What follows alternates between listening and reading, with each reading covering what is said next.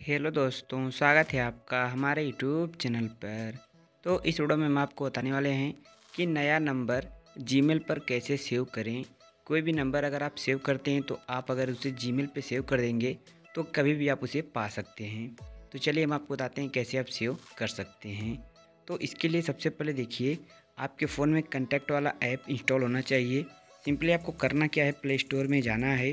Search bar में click करके contact लिखना है। इस प्रकार का फिर आपको सर्च कर देना है। सर्च करने के बाद एक छोटा सा एप्लीकेशन आएगा चार से पाँच एम का। इसे आप देख सकते हैं, आपको इसे इंस्टॉल कर लेना है। देखिए, मैंने इंस्टॉल कर रखा है।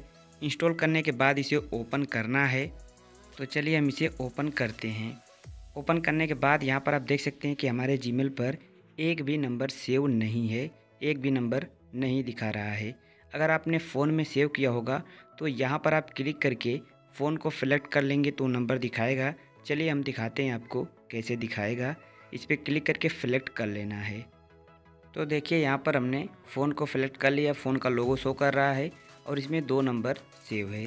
अब चलिए हम यहाँ से चेंज करते हैं। जीमेल को सेलेक्ट कर लेते हैं और आगे आपके बताते हैं कि कैसे आप सेव कर सकते हैं।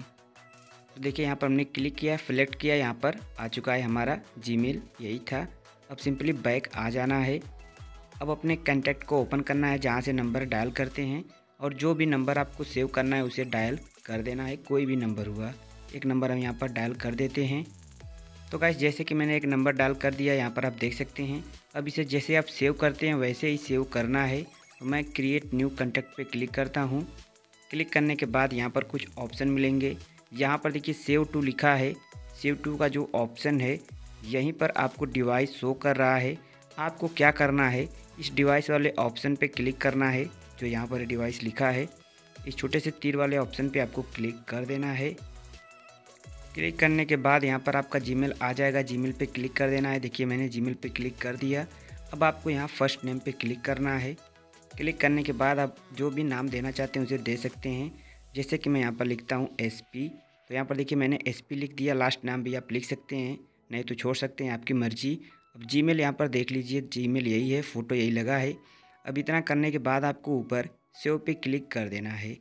नंबर सेव हो चुका है। अब हम सिंपली कंटेक्ट को ओपन करते हैं।